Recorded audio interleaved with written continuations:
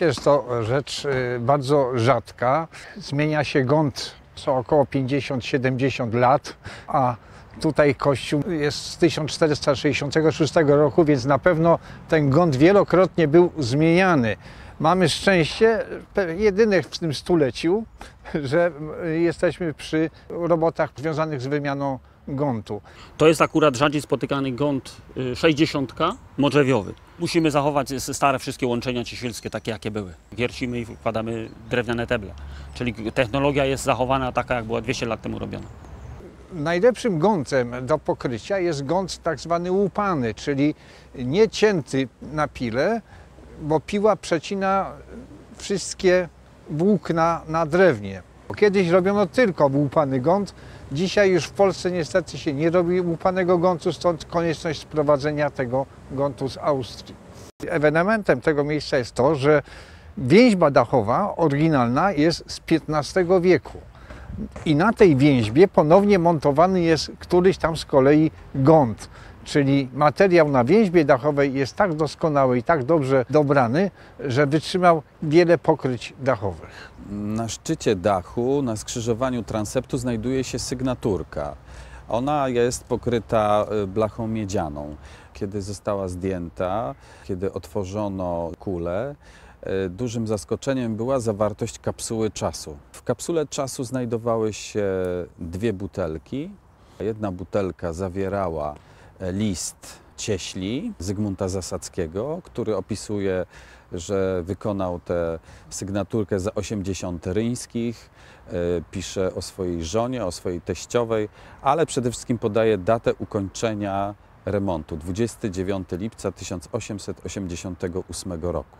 Mniejsza buteleczka była pamiątką poprzedniej kapsuły czasu i mowa jest w niej o zrestaurowaniu tej dzwonnicy 1752 roku.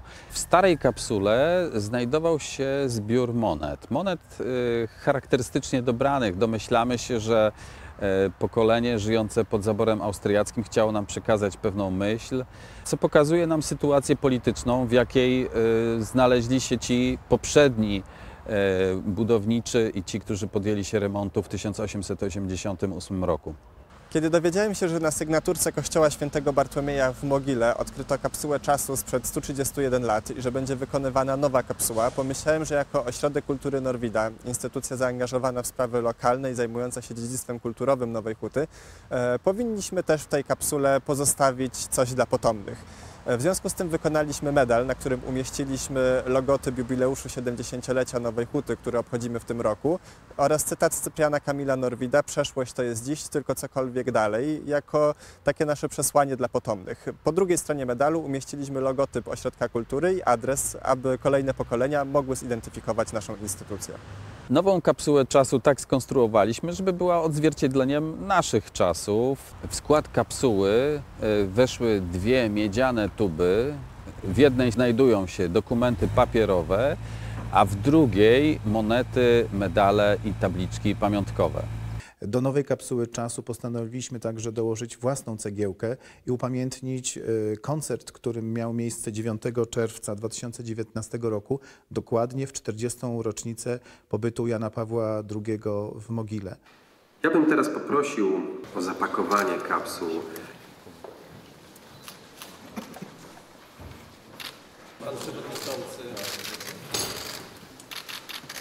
Jest pan dyrektor. Pani dyrektor. O, ciężkie.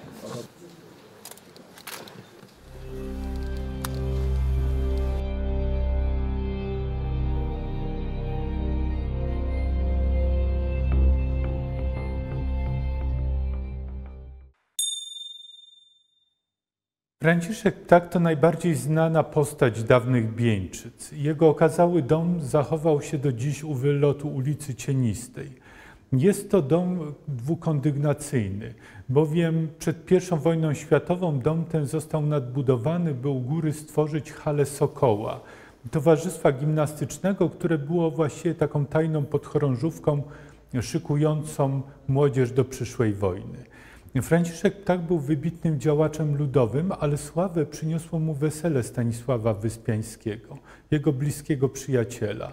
Został on tam sportretowany. Te słynne słowa, że ptak ptakowi niejednaki i wcześniejsza mowa o wyborze e, Franciszka Ptaka na posła Sejmu Galicyjskiego spowodowała, że Franciszek Ptak na zawsze zostanie w naszej pamięci. Przede wszystkim zaś wielką zasługą Franciszka Ptaka było zorganizowanie olbrzymiego korowodu e, etnograficznego, który przeszedł przed Franciszkiem Józefem. W 1908 roku przypadało 60-lecie panowania tego monarchy i wszystkie kraje e, jego państwa prezentowały się w postaci takich jakby orszaków weselnych. Do Wiednia pojechało aż 500 chłopów. Banderia wypadła tak wspaniale, że siedzący na trybunach generałowie austriaccy byli święcie przekonani, że nie są to zwykli chłopi, tylko przebrani w chłopskie stroje kawalerzyści. Franciszek Ptak był nie tylko działaczem ludowym, ale także gospodarczym. Prowadził kasę Stewczyka. Był bardzo zamożnym gospodarzem, sponsorował wiele różnych imprez, które odbywały się w Bieńczycach. Prowadził też znaną karczmę. Do tej karczmy jako rekrut zachodził młody Wincenty Witos, który swoją służbę wojskową odbywał w forcie Krzesławice i on także w swoich dziełach zostawił nam portret Franciszka Ptaka.